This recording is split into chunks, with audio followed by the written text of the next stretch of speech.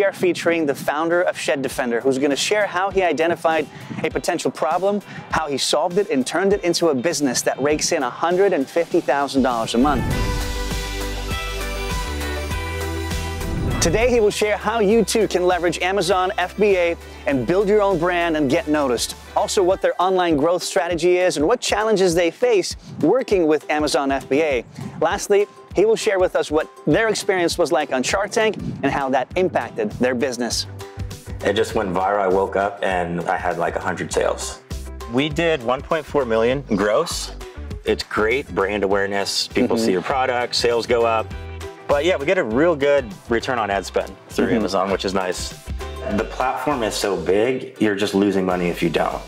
That is a leash you guys need to have in your arsenal. Um, can you walk us through just a quick evolution of getting a new product into mass production? That makes or break your product. They do it for you. I mean, you send your product in, you don't have to worry about shipping and returns. It's all automated. All right, you guys, we are here with Tyson, the founder of Shed Defender, um, and we'll just dive straight into it. Tyson, tell us a little bit about yourself, your background, and how you came up with this idea called Shed Defender. Well, this is Harley, my St. Bernard, and uh, I got her in college, and I got tired of people complaining about the shedding and everywhere I went, she just would have balls of hair everywhere. So I searched and searched and searched, and there's no products out there like it. So I came up with the idea to wrap her up in a shirt and contain the shedding. That's it. Uh, for the most part, yeah. There's nothing out there, so it's kind of easy concept for me to think, okay, I think this will be good for many other dog owners out there because it's such a big problem. Right, and then it just kind of evolved into it what did. we see here. Yeah, uh, my mom actually sewed the first prototype Mm -hmm. uh, started small, then found a seamstress off Craigslist, and then a few years later, we had a working product.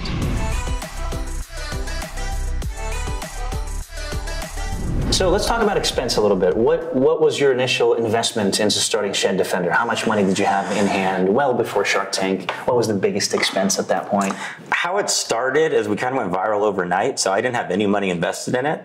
It just went viral. I woke up and I had like 100 sales. Interesting. Um, yeah. With the with the model that your mom sewed first, and then yeah, I was trying to sell online. Um, it was pretty much a passion project. So I was selling maybe five a month with this little seamstress who could make mm-hmm. one a day maybe, and then in one viral video, and next thing I had hundreds of orders. Interesting. So I had to get a small loan from my parents to pay for to get the fabric, find a manufacturer in San Francisco, and fulfill upwards of a thousand orders within like the next two months. Okay, so let's talk about what cost the most within those first two months. Is it is it manufacturing and fabric? Okay. So I think um, the first initial loan from my parents was about 30, I think 30,000.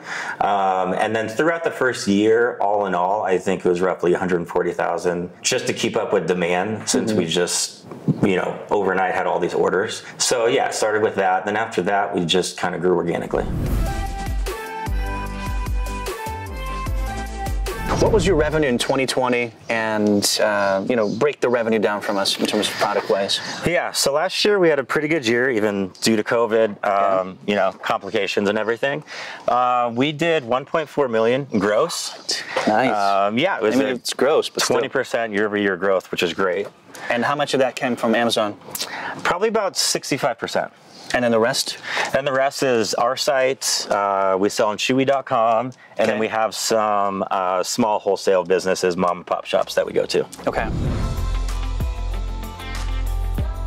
Talk about Shark Tank. How did that impact the business overall? Uh, people do people recognize you on the street and say, "Oh my gosh, that's Tyson. We saw him on Shark Tank." How's life now after after that experience? Yeah, I thought they'd recognize me after Shark Tank, but uh, no, they recognize her, so okay. she can get some recognition. Nice, but uh, not me yet. But yeah, it definitely helped. Um, it was a great experience. It's great brand awareness. People mm-hmm. see your product, sales go up. It can be somewhat short-lived, but you know people forget about it. But it keeps re-airing, maybe like every right. four to six months, so you still get that continual uptick, which is great. As far as revenue, though uh, so when did you go to Shark Tank? What year? We were uh, 2018, season 10. And at that point, were you selling this exact product already? Yeah. So we just had the one product. Now we have kind of a whole line of products. Mm-hmm. But it was just the one product. We were about a year and a half in. So we're still kind of in our baby phase. Mm-hmm. But we still had good numbers, and the Sharks were all impressed. Why don't you walk us through the numbers? Uh, we've done 1.2 million in sales. Oh, good for you. What? How do you break down the profit margins? Like if you take uh, this product here, right, which is your best seller, just the black shed defender. Yeah. What does it cost you to make? And uh, what's, So any of the roughly we have nine different sizes, so they do vary Okay. quite a bit. So from the mini size up to the giant, they can range from you know anywhere from maybe seven dollars, you know, upwards to fifteen. to manufacture? Yeah. Okay. Um, sometimes it can be more expensive. We do uh, produce domestically sometimes too, so those costs are higher. Mm-hmm. But um, yeah, all in all, our margins are you know anywhere from. 40 to 70 percent, Wow. just depending on what sales channel we're at, either our site, Amazon, or wholesale. What's the strategy for growing your business on Amazon? And tips, tricks, anything you can share with us? So Amazon, the main thing is you definitely want to be on FBA, so you can get you know quick shipping and they can handle all that. So I mean that's definitely I would say number one. Also uh, reviews that makes or break your product, and that can be the hardest thing to do because there's a lot of things in place. So you know, Amazon policy, you don't abuse it by paying for reviews and things like that. Some Okay. overseas companies do. So reviews are the best way to do it. So there's a couple, there's a program called Vine, and you can, um, for new products, so you can give out free products to people and they'll review it for you, which helps you get um, at least, you know, anywhere from five to 20 reviews, but even that alone can help you rank better because that's what Amazon is. It's just a crazy algorithm that goes with reviews, rank, price, product imaging, getting your brand store page up, um, just to make it look as professional as possible.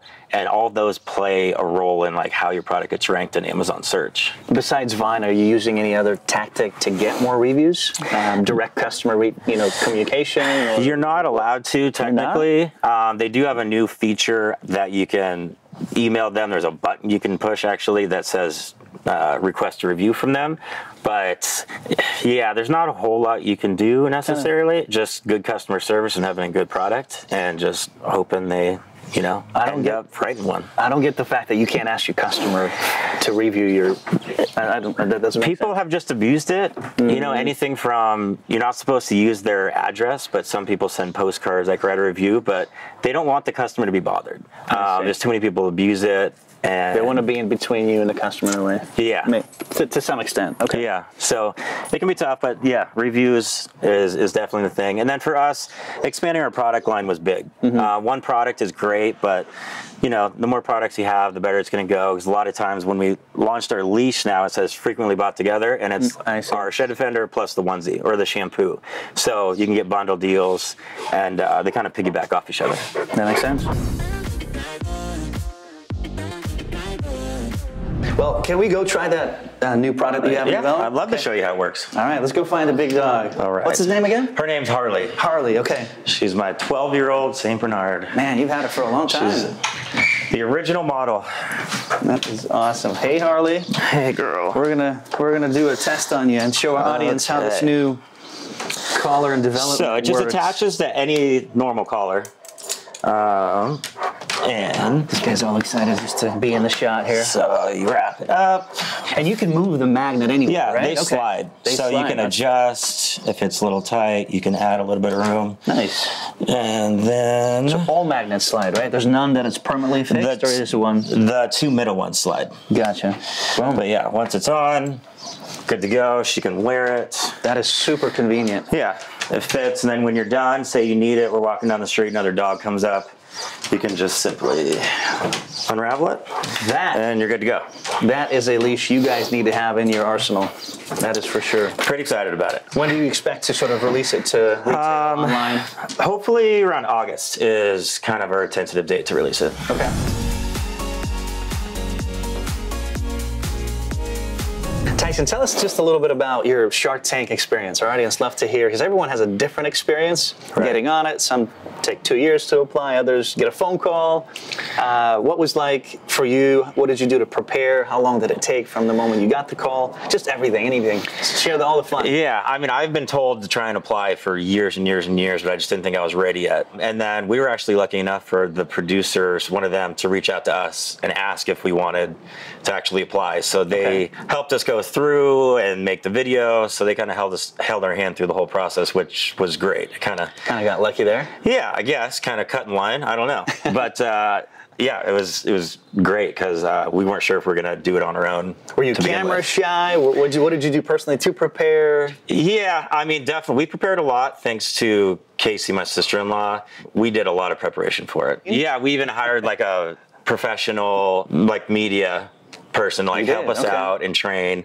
So we were over prepared, but that definitely helped us. So there's Mm-hmm. no hesitation, no pauses. We knew the numbers, and you know, it turned out we got a deal. So it was definitely well worth doing all that practice and preparation.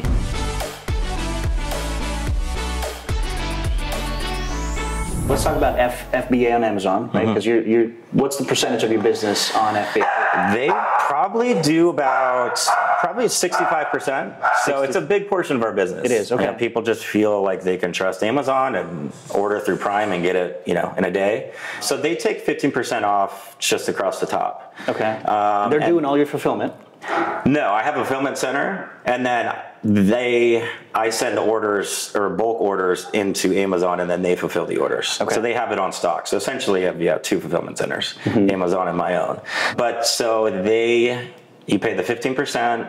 And then you also pay just normal shipping fees, maybe three dollars, four dollars per unit as well. Okay. What else can you share about FBA? The, the pros, the cons. What do you see changing or not changing? Yeah. Let's just dive into that a little bit. I mean, honestly, I was kind of weary of getting into it a few years ago because, you know, the margins do go down a little bit, but the platform is so big, you're just losing money if you don't. So it just it helps the advertising. I can get in front of the right people with their own advertising on their platform. It just it's for me it's just more eyes, more mm-hmm. visits to, you know, our store on there. And people some just go towards Amazon to buy things now. Right. So, you know, we'd like to mix it up a little bit more and get more people on our site, but you know, there's only so much you can do. Everyone's curious about what happens after you get the deal or didn't get the deal. What happened with you as far as deal making on Shark Tank? Yeah, so on the show, we did get three offers. Uh, we ended up going with Lori. Deal. Yes, great. We'll take it. Awesome. All right. And so we got a deal on the show. You know, you shake your hand and everything. And then eventually we both kind of mutually decided it wasn't necessarily a good fit for us. Um, we wanted more of a strategic partner who's going to be more involved in the business. So we decided not to do it and then eventually found uh, private equity a few months later afterwards, which What? Where did that happen? I mean, um, we how went did you get to exposed? a pet summit event in Austin. So it's just a place to meet private equity or um, distributors and stuff Mm-hmm. like that. And one company um, that we reached out to was interested and Did they notice you or recognize you? no, they hadn't actually watched the Shark Tank, but knowing we were on it is always something that piques their interest. You know, they know that we got on for you know a reason, we're a legitimate company, um, and you know gave them their number, our numbers, and like I said, they were impressed. And then took about a year, but we finally signed them on, and they've helped us kind of grow the brand and help with uh, it's like a strategic partnership that you know we were looking for. Nice.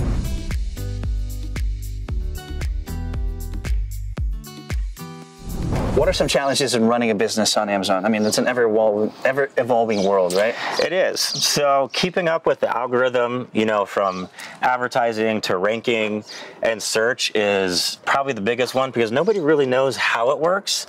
Um, One day it's this, the other it, day it's that. it is. or- And so you can hire some marketing agencies that are professionals and they'll tell you this, but then you can hear another thing. So yeah, just evolving with Amazon and how it, you know, ranks and all that stuff is probably maybe the biggest challenge. Yeah. I just wonder what you could do to research all that and be on, on top of it. You know what I mean? Like, is there some, is there anything you can do? I mean, what, what are you doing? It's hard. There's actually a couple apps that you can get that show certain attributes and search results, search terms, and stuff like that. One called Jungle Scout. That's Okay. really good. So it's an add-on, um, and then you can also investigate other competitors' products and kind of compare it to yours as well. Okay, and just basically have a great product. Make sure you have a great service. Yeah, make sure your search terms are online. It can kind of help you grade and evaluate your listings, mm-hmm. and you just hope they know what they're doing. But usually, the uh, Jungle Scout's a really good one. That's pretty reputable. Okay.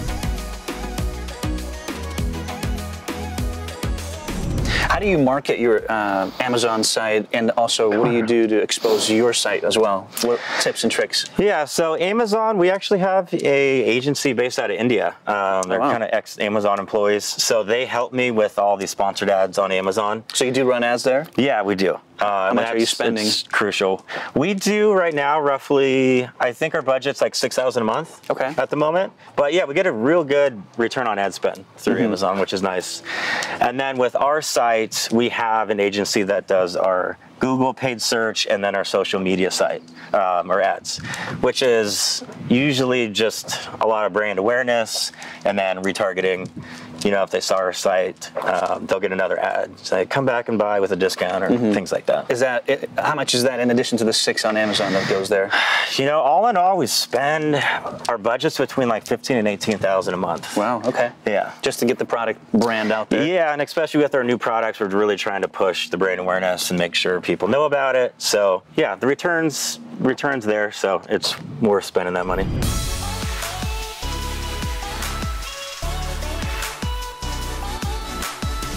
Let's touch on real quick on how to identify demand for new products, right? especially in your line of industry. Right. So for us, some of it was just getting feedback from the customers. You know, with the original Shed Defender, um, like people wanted one so they could go outside, so we created the sport, mm-hmm. um, so the dogs can use the bathroom. Other ideas just yeah come from just looking at the market uh, seeing what's trending that's why we kind of came up with the soft shoes mm-hmm. it's like the fastest little niche growing in the pet industry they're just getting bought up by everybody um, so just following trends is probably the main thing, and yeah, customer feedback, reviews, stuff like that. Just kind of gauging on what the customer would like, and incorporating it into your whole, you know, blend of products. Do you have a system, or have you done in the past where you did reach out to customers, and said, "Hey guys, give us feedback, constructive feedback, what works, what doesn't," or we, did they do that by themselves? We have in email marketing. Um, software that does like have a little survey after each purchase. Mm-hmm. But then, you know, and one thing we use is Instagram when we're trying to figure out what new patterns or colors to do for the onesies. Okay. Um, we give them a list of maybe, do you, would you guys like to see camo or a festive color or something? So that we kind of like get their feedback, engage it based on the survey on, you know, an Instagram story or something like that. Okay. Yeah. So follow trend lines and probably customer feedback is the two pillars. Yeah.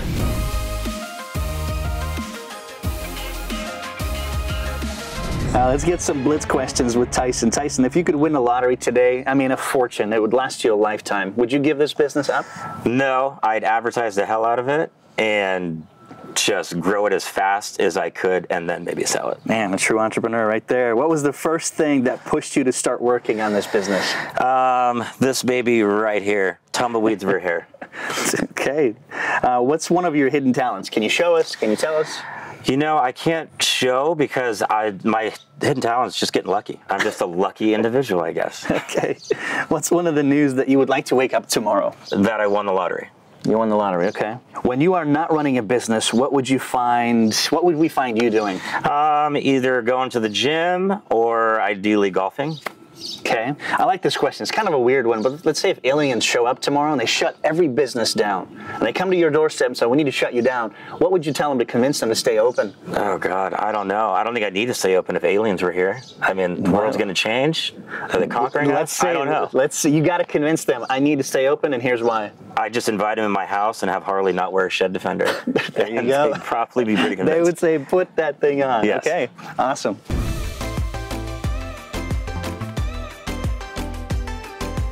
Let's talk about design. Cool stuff, different colors. Uh, do you have anybody designing your product? Uh, who helps you with that? Um, I guess I'm the designer. Okay. So I did, I mean, I had a pattern maker help me, kind of gave him the directions of what to do, and it continually evolves. I'm still always kind of manipulating the pattern to fit better and better.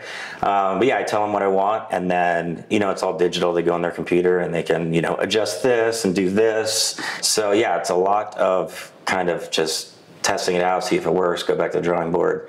Uh, a lot of back and forth. It doesn't change much, does it? Or are you continually evolving the design? It doesn't change that much, but it's just hard with so many different size dogs. Even with Right. nine sizes, they all don't fit like They don't, perfectly. They- Some dogs are perfect, some dogs are tough. So, you know, we did evolve into making a sport version that doesn't zip up all the way, so then the dog I can actually go to the bathroom outside, things like that. So we evolved the product to, you know, kind of cater to different uses. But uh, in a sense, no, it, it stays to its core pattern. Okay.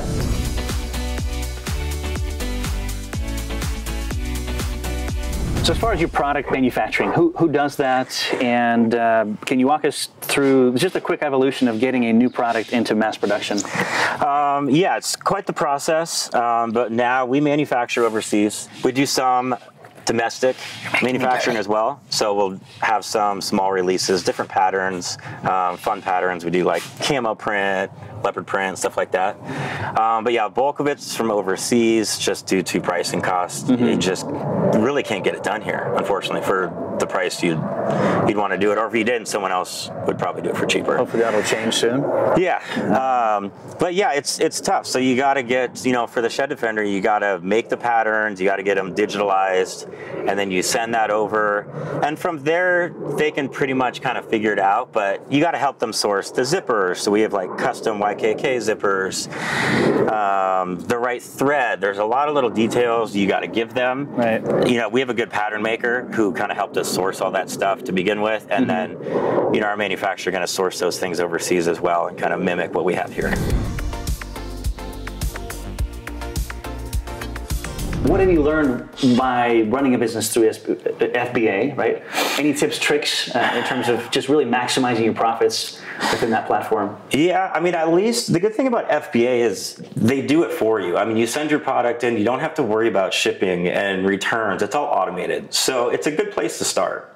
Um, it definitely helps you out in a lot of ways like that. But for tips and tricks of anything, I would just make sure if you're going to be on it too, find a good agency that you can help uh, market with their sponsored brands within Amazon. Um, you got to put some money into it, but the returns are really good if you do it right. So they can really help jumpstart the business.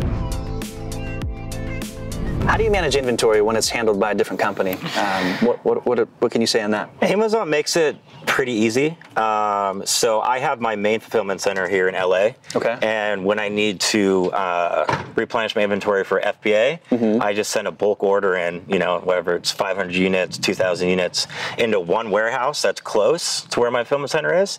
And then from there, they disperse it throughout their network. So it makes you- it super simple. You can see what's left though. Uh, Oh yeah, you keep Okay. track. There's inventory alerts. They can forecast for you, so uh, you know what's trending. So I mean, they gave you the tools that you need to uh, help you out and make sure you don't run into any hiccups and Right. inventory issues. Hence, you pay them what the fifteen percent Exactly. to, to provide all that services. Okay. Yeah.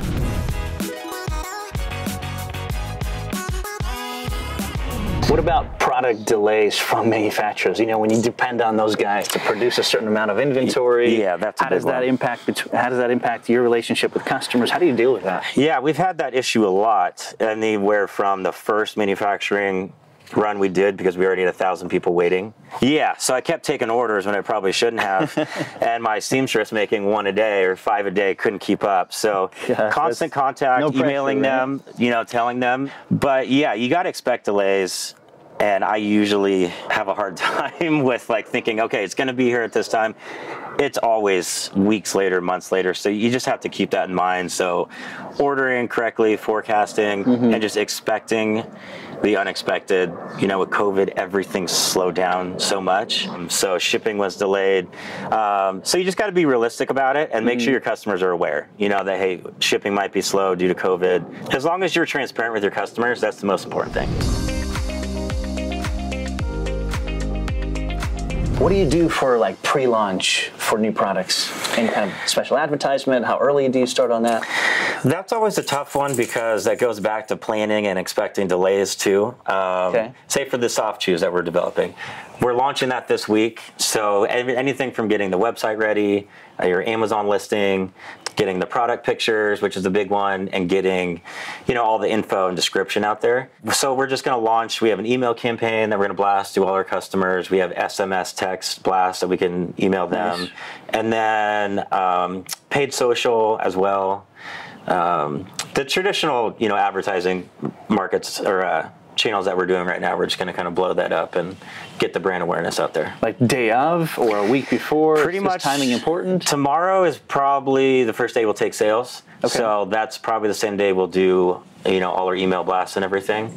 We don't have a huge launch day and make like a huge deal about it necessarily. It's just mainly getting our current customers aware of it. And then from there, we'll get some brand awareness sent out into the world via social media and that.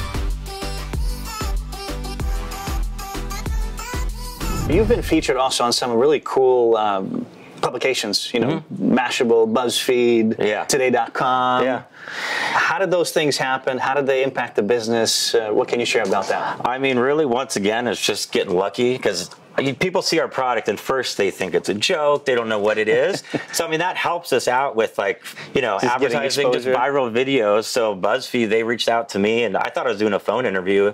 And next thing you know, Zoom popped up, and I didn't. I wasn't even prepared at all. I just woke up, all my hair's a mess That's and crazy. stuff. But it was like a 15 minute like video, but ended up getting like 18 million views. That they aired? They didn't tell Yeah. you they were going to call you in the morning when you're waking up or anything? Um, I, you know what? It was the first year we were in business, and I didn't really know what I was doing in life or with the business, so I was not with- prepared. But it still became, yeah, a viral video, and it was it was great. Just getting lucky with these social media sites online is just awesome. Do you see a huge boost in sales after Yeah. those things? Oh yeah, it was in June of I think 2017, and it definitely it was a great month for us. It doesn't hurt to, to keep getting more of those exposures. Oh, it's great. It definitely winds down now. We don't get too many of them because you know people are kind of aware of our brand and know what it is now. Mm-hmm. Um, but you know, occasionally, sometimes you know something comes out and you know maybe like upflip. So Yeah, there you go. That helps you know get it out there for us. It's great. Awesome.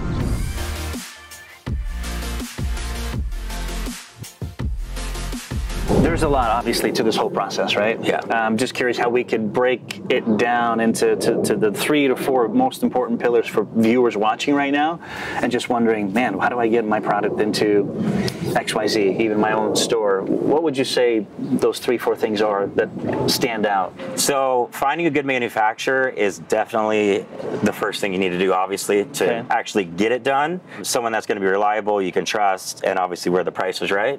Um, As a new person, I want to barge in here. As a new person, where what, where would I go to find a, a good manufacturer on that first step? Okay. I got lucky. They reached out to me on Facebook, the manufacturer that we use. you just keep getting lucky. It is. Well, they saw us on one of the viral videos and he reached out and it ended up being great. I flew over to Hong Kong and met them and Wow. did a tour. Um, really great people. What else besides supplier? I guess let's touch on one more important aspect of. Um, obviously, I think just the website and getting the whole business put together. Okay. So the website's key. You know, even if you're not going to do your own website, you still got to on Amazon. You got to do you know a brand store, from pictures to presenting your product in a professional way. Um, you just you want to legitimize it. You know, when we first launched, sometimes we had some bad pictures. well, you know, our website was clunky. It was horrible. So after we kind of fixed that up, you could see our conversion rate go from less than like one percent. Now we're trending over three percent conversion rate on our website, which is pretty good.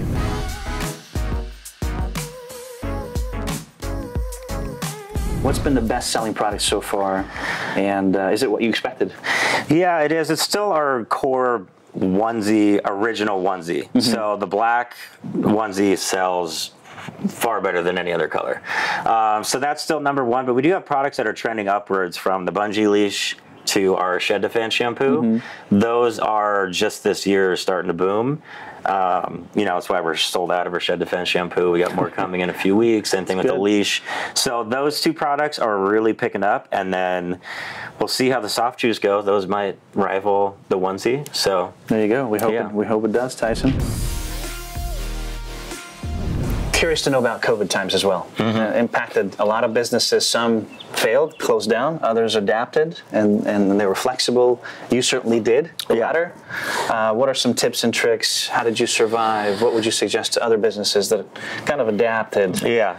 Um, I mean, you got to be flexible with your business. For us, it was kind of lucky just because we're mainly online, anyways. Okay. So, you know, we were, our focus was to get into brick and mortar this last year, but obviously COVID, you know, threw us for a loop. So we pivoted back to just focusing on Amazon, Chewy.com, and our own site, um, and just focusing on like what we have going already instead of wasting our time and money expanding into a market that is kind of obsolete at the moment. We'll see if it bounces back.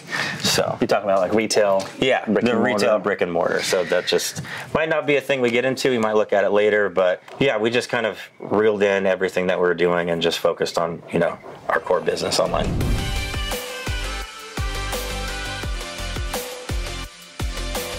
To our viewers, uh, whether they're in the same industry or another industry, any tips of advice from an entrepreneur to entrepreneur? Um, anything comes to mind? Yeah, I mean, first of all, it's kind of cliche, but don't give up. I got laughed at for creating a dog onesie for years before it actually went big. Yeah, you just got to keep going with it, and you know, don't care about what other people think. Eventually, if it's a good product, you know, it'll go. People understand it, and you know, then you'll have your own success story. All right, you guys, as always, we have an offer for you from Tyson. Tyson, tell us more about it. Um, yeah, so we have a coupon code that you can use at checkout for 20% off. Wow. Just type in upflip at sheddefender.com. Awesome. Thank you so much. Very generous of you. You guys take advantage of that and do it right now. Thank you. Well, we really enjoyed this. I know our audience have as well. Thank you so much, Tyson. And Thank we you. wish you all the success Appreciate it. that there ever is. Thank you. Well, that's it for today, you guys. I know you want to watch more. We've got a lot more coming for you. We appreciate you watching this video. What an incredible invention. Execute on all the ideas we talked about. Hit that like button, subscribe to this channel so that you don't miss any of our amazing content. We're doing this for you. Comment below because we read all the comments. We want to know who you want us to interview next. Thank you so much for watching.